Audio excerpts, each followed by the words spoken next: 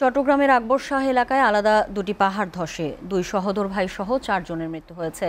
এই ঘটনায় আরও ছয়জন আহত হয়েছেন। ফায়ার সার্ভিস বলছে, অতিরিক্ত বৃষ্টির পানি ধারণ করতে না পেরে পাদদেশ কেটে গড়ে তোলা বসত বাড়ির উপর ধসে পড়ে পাহাড়ের মাটি, যার নিচে চাপা পড়ে এই হতাহতের ঘটনা ঘটে। পুলিশ বলছে, বৃষ্টির সময় ঝুঁকিপূর্ণভাবে বসবাসকারীদের সরে যেতে মাইকিং করা হলেও অনেকে সরে যাননি বলেই এই দুর্ঘটনা ঘটেছে। অমিত দাসের ক্যামেরায় সোহাগ কুমার বিশ্বাসের প্রতিবেদনে দেখুন বিস্তারিত।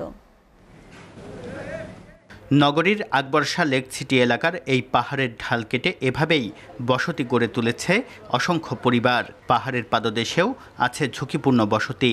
স্থানীয়ভাবে যা বরিশাল ঘোনা নামে পরিচিত। গতরাতের বৃষ্টিতে পাহাড়ের ঢাল কেটে গড়ে তোলা একটি বাড়ির ওপর ধসে পড়ে মাটি যার নিচে চাপা পড়ে মৃত্যু হয় দুই ভাইয়ের।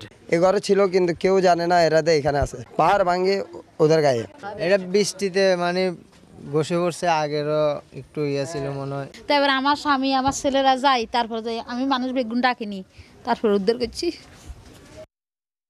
কিছুটা দূরে বিজয়নগরের আরেকটি পাহাড়েও ধসের ঘটনা ঘটে রাতে। এই ঘটনায়ও দুইজনের মৃত্যু হয়। ফায়ার সার্ভিস বলছে, দুটি ঘটনায় চারজনের মরদেহ সহ আহত অবস্থায় আরও ছয়জনকে উদ্ধার করা হয়েছে। এরকমের বসবাস করার জন্য আমরা বিগত দিনে মাইকিং করেছি এই সব এলাকায়।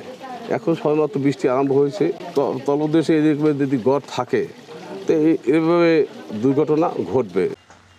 মৌসুমি বৃষ্টির প্রভাবে গেল তিন দিন ধরেই টানা বৃষ্টি হচ্ছে বন্দরনগরী চট্টগ্রামে। এতে পাহাড় ধসের আশঙ্কা জানিয়ে পাদদেশে বসবাসরতদের নিরাপদে সরে যেতে প্রচারণা চালাচ্ছে জেলা ও পুলিশ প্রশাসন। কিন্তু বরাবরের মতোই প্রশাসনের সতর্কতা গুরুত্ব দিচ্ছে না বাসিন্দারা। তবে পাহাড় ধসে হতাহতের পর কঠোর হবার ঘোষণা দিয়েছে পুলিশ।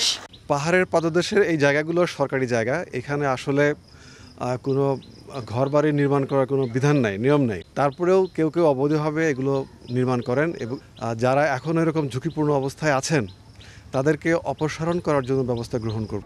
প্রতি বছরই পাহাড় ধসে হতাহতের ঘটনা ঘটে চট্টগ্রামে। ঘটনার পর পাহাড়ের পাদদেশে বসবাস করা মানুষদের উচ্ছেদ অভিযান চালায় জেলা প্রশাসন। কিন্তু দিন দিন পাহাড় কেটে গড়ে তোলা বসতির সংখ্যা বাড়ছেই।